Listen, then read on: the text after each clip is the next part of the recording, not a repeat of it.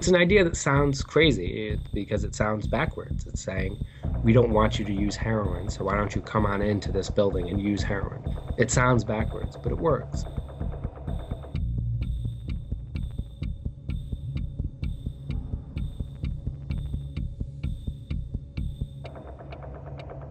We've had five overdose deaths here in the last three weeks. When we keep people in the shadows, when we push them away, they never get the primary care, they never get the mental health care, and they never get the access to treatment that they need. When they are using inside a supervised injection facility, they have access to all those things. First, it saves lives. It lowers your disease rate. Less HIV, less hepatitis, fewer needles in public parks, fewer needles in the bathroom, just less public consumption all around throughout Europe, in Australia, and Canada, it's proven that people who use supervised injection facilities are 30% more likely to recover from using heroin.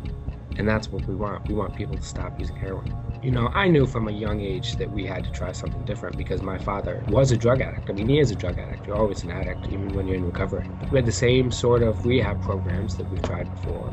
Those never worked, and yet we still kept trying them it was damaging to our family, so damaging and expensive to our community. It, didn't work, and I told myself if ever I got the chance, I wanted to build a better system so that little kids wouldn't have to grow up the way I did, and that people who use drugs can have a better chance of a life of health and and, uh, and possibly sobriety.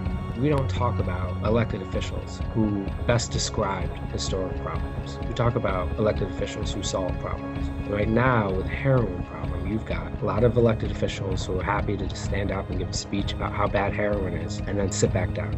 That is not leadership. You're just admiring the problem, defining the problem, but not actually solving it. And we need solutions.